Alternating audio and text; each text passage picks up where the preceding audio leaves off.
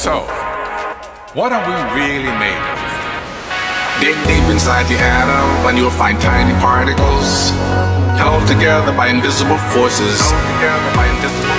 Everything is made up of tiny packets of energy born in cosmic furnaces. The atoms that we're made of have negatively charged electrons whirling around a big bulky nucleus. The quantum theory offers a very different explanation of our world. The universe is made of 12 particles of matter, four forces of nature. The universe is made of 12 particles of matter, four forces of nature. That's a wonderful and significant story. Suppose that little things behaved very differently than anything big. Nothing's really as it seems. It's so wonderfully different than anything big. The world is a dynamic mess of jingling things.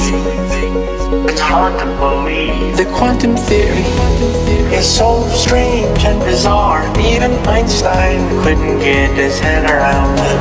In the quantum world, is certain. It's a world of probabilities. The quantum theory offers a very different explanation of our world. The universe is made of 12 particles of matter, four forces of nature. The universe is made of 12 particles of matter, four forces of nature. That's a wonderful and significant story.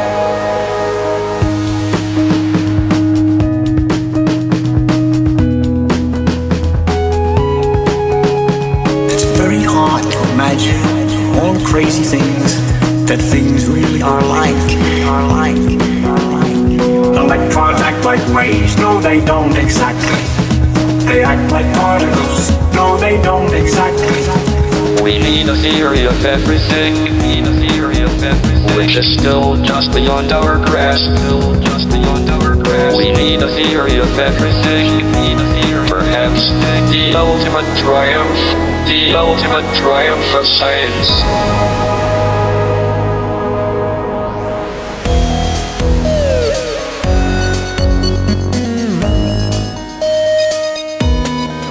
The quantum theory offers a very different explanation of our world.